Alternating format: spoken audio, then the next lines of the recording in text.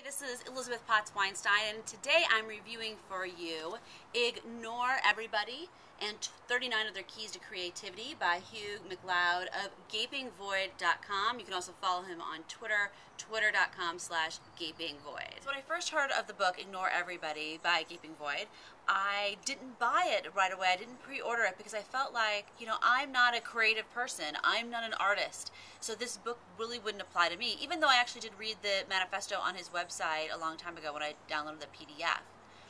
But I finally did go ahead and buy the book because I followed him on Twitter and he said so many amazing, witty, profound things that I really wanted to see more of what was in his book. Read the reviews from other people and find out what he talks about in this book. I'm not here to tell you that. What I want to tell you, what I want to share with you is the realizations that I got from reading Gaping Void's book, Ignore Everybody. As I was reading his book, I realized so many of the things he said resonated with me.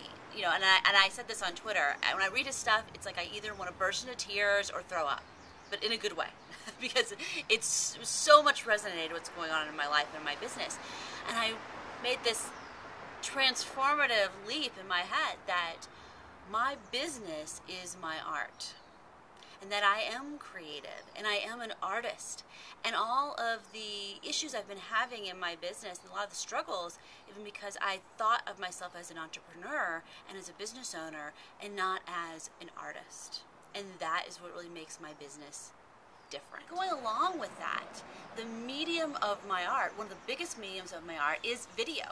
And I thought there was something wrong with me because I just use, you know, a little flip, you know, HD camera and edit my own stuff on iMovie. And I had all these people saying to me, you need to have real, you know, professional camera and like get someone to professionally do it and have, you know, an audio mic and have lighting and all this stuff. But I realized the kind of art I create I don't need a medium that's professional. Not only do I not need that professional medium, it actually would hold me back. One of the reasons I'm able to create intimate videos the way that I do is because I can create them, bam, as soon as I'm inspired to do it. I mean, and because I do the videos myself, I can immediately do it. Just like he does his cartoons on the back of a business card. So if you're an entrepreneur or business owner and you're thinking about getting this book, here's, you know, my bottom line review you're going to fall into one of two camps.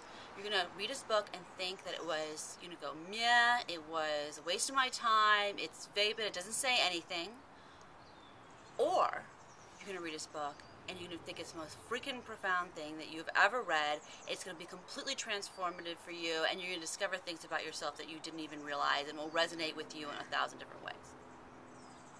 It's going to be one or the other. And the only way you're going to know is if you read the book.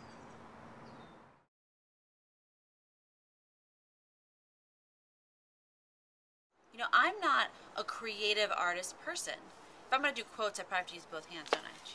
Well, other people probably, you know, you can read a book, Ignore Everybody. Is that the name of the book?